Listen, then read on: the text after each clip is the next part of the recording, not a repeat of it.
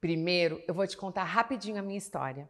Por 10 anos, trabalhei em grandes empresas na área de marketing e jamais pensava em empreender. Há 9 anos, eu abri a minha empresa na sala da minha casa, que hoje se tornou a Mind, a maior agência de marketing de influência do Brasil. Não foi fácil empreender e eu aprendo a cada dia. São milhares de projetos na rua, Demi Lovato para Fanta, Lua Santana dirigindo o avião da Gol, Pablo Vitar brilhando no Rock in Rio, Gil do Vigor com Santander e muitos outros projetos incríveis que com certeza você foi impactado nas suas redes sociais.